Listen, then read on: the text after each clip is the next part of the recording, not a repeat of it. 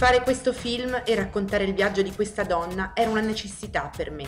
Non capita molte volte, ma il personaggio di Gemma per me era diventato un'ossessione. Penelope Cruz è arrivata a Roma per presentare il film di Sergio Castellitto, Venuto al mondo, tratto dall'omonimo romanzo di Margaret Mazzantini. Ancora lei, l'attrice spagnola, splendida già in Non ti muovere, quando imbruttita vestiva i panni d'Italia, Invenuto al mondo è una donna addolorata per la sua sterilità, ma innamorata del marito fotografo, al punto da seguirlo a Sarajevo, da cui fuggirà sotto i bombardamenti con in braccio